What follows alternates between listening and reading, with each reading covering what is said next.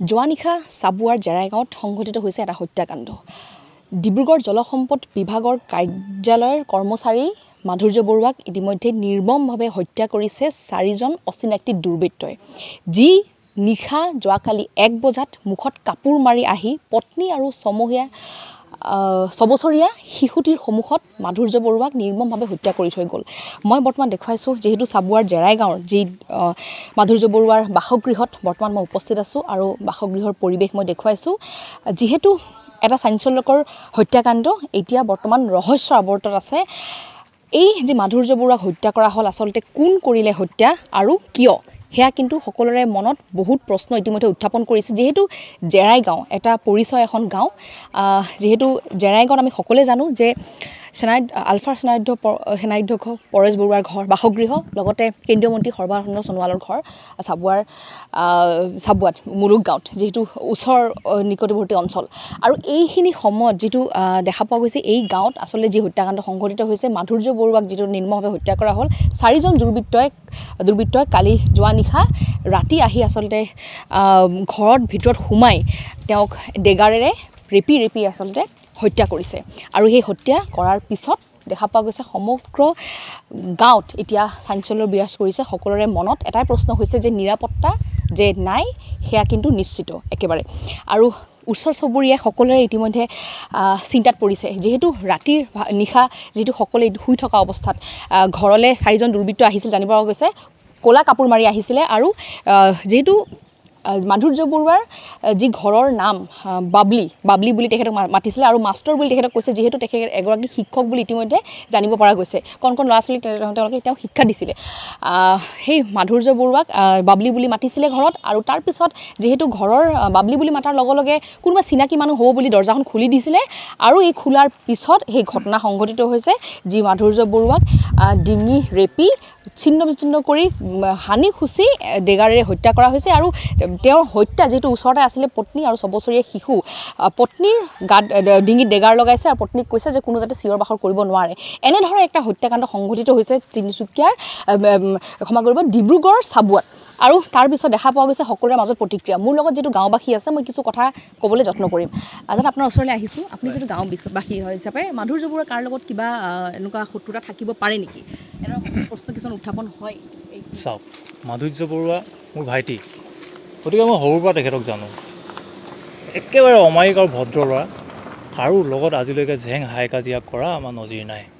গতিকে তেনেকুৱা এজন ল'ৰাক কি কাৰণত ঘৰৰ ভিতৰত সোমাই দাহে ৰেপি হত্যা কৰি থৈ যাবলগীয়া হ'ল? আচৰিত কথা।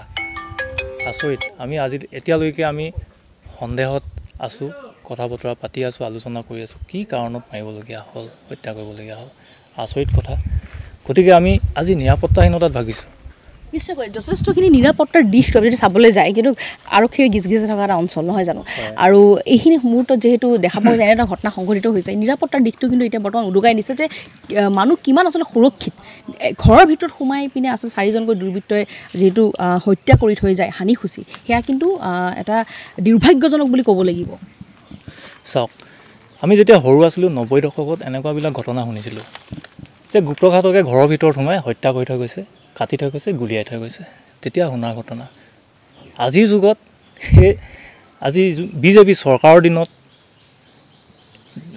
গৃহ মন্ত্ৰালয়ৰ দায়িত্বত থকা আমাৰ মুখ্যমন্ত্ৰী ডাঙৰীয়াকো থকা অৱস্থাত গৃহ মন্ত্ৰালয়ে গিজগিজাই থকা অৱস্থাত আজি প্ৰশাসন পুলিচ প্ৰশাসন গিজগিজাই থকা অঞ্চলটোত যে এনেকৈ হত্যা কৰি থৈ যাব পাৰে ঘৰৰ ভিতৰত। গতিকে আমি আজি ক'ত যাম? ঘৰৰ ভিতৰত যদি আমি থাকিব নোৱাৰোঁ আমি তেতিয়াহ'লে আমি জেলৰ ভিতৰত থাকিব লাগিব য'ত জেলতে আমি নিৰাপত্তা বুলি ভাবিছোঁ। চাৰি বাউণ্ডেৰীৰ ভিতৰত আমি আৰামত শুই থাকিব পাৰিম। আমি আজি ভাবিছোঁ যে জেলত থাকিলে সুৰক্ষিত ঘৰত থাকিলে যেতিয়া সুৰক্ষিত নহয়। গতিকে চাওক নিশ্চিতভাৱে আজি আমি আমাৰ ল'ৰা ছোৱালী নটা আঠটা বজালৈকে টিউশ্যনৰ পৰা অহা যোৱা কৰে। গতিকে আজি কেনেকৈ টিউশ্যন কৰিবলৈ যাব সিহঁতি? পঢ়িবলৈ যাব স্কুল কলেজত। আজি ঠাণ্ডা দিন আহি আছে। ঠাণ্ডা দিনত পাঁচটা ছটালৈকে আহোঁতে দেৰি হৈ যায়। পাঁচটা ছটাত আন্ধাৰ হৈ যায়। গতিকে কওকচোন আপোনালোকে আমি কেনেকৈ আজিৰ দিনত আমাৰ গাঁৱৰ ল'ৰা ছোৱালীবিলাকক চাৰিটা পাঁচটালৈকে বাহিৰত এৰি দিবলৈ পাৰিম? গতিকে নিশ্চিতভাৱে আমি আজি নিৰাপিত নাহিনত ভুগিছোঁ। এটা কথা জানিব বিচাৰিম যিহেতু দুৰ্বৃত্ত চাৰিজন আহিছিলে তেওঁলোকে মুখত কাপোৰ বান্ধি আছিলে জানিব পৰা গৈছে কিমান হয়। কাপোৰ মাৰি আহিছে বুলি কৈছে মুখত। গতিকে চিনিবলৈ অকণমান দিগদাৰ হ'ল। আৰু ঘটনাটো প্ৰায় পাঁচ দহ মিনিটৰ ভিতৰত মাৰপিট মাৰ্ডাৰ কৰি গুচি গৈছে। গতিকে সেইখিনি সময়ত নাৰ্ভাছ ফিলো কৰিছে। কাকো মাতিবলৈ সেই সময়ত নোৱাৰিলে। গতিকে আৰামছে ধুনীয়াকৈ মাৰি মেলি সিহঁতি গুচি গ'ল। সেইটোৱে কথা আৰু। নিশ্চয়কৈ যিহেতু ৰাতিৰ ভাগত যোৱা নিশা এক বজাত এই ঘটনা সংঘটিত হৈছিলে। পুৱাৰ ভাগত যিহেতু দেখা পোৱা গৈছে সকলোৰে আচলতে চাঞ্চল্য বিৰাজ বিৰাজ কৰিছে এই যি ঘটনা। সকলোৰে মনত কিন্তু নিৰাপত্তা যে হীনত নিৰাপত্তাহীনতাত যে ভুগিছে সেয়া কিন্তু নিশ্চিত ৰাইজ। আৰু এটা কথা ক'ব লাগিব আৰক্ষীৰ যিহেতু প্ৰাথমিক পৰ্যায়ৰ তদন্ত ইতিমধ্যে আৰম্ভ হৈছে আৰক্ষীয়ে যদি এতিয়ালৈকে কোনো ভাষ্য জনোৱা নাই আমি কিছু সময় পিছত হয়তো ভাষ্য জনাবলৈ সক্ষম হ'ম নিউজ এইটিনৰ দৰ্শকক। আচলতে এই যি জেৰাই গাঁৱত যি আচলতে যি ঘটনা সংঘটিত হৈ গৈছে সেয়া কিন্তু কোনো সহজে ল'ব পৰা নাই। আৰু কোনো এটা মাত বা চিঞৰ বাখৰ নোহোৱাকৈ চাৰিজন দুৰ্বৃত্তই ঘৰত আহি সোমাই মাধুৰ্য বৰুৱাক ঘৰৰ পৰা যিহেতু তেওঁ যিহেতু নিশা শুই থকা অৱস্থাত তেওঁক উঠাই পিনে হানি খুচি হত্যা কৰি থৈ ঘৰৰ পৰা গুচি যায়। আৰু ওচৰত যিহেতু পত্নী আৰু তেওঁৰ শিশু আছিলে ছবছৰীয়া জানিব পৰা গৈছে।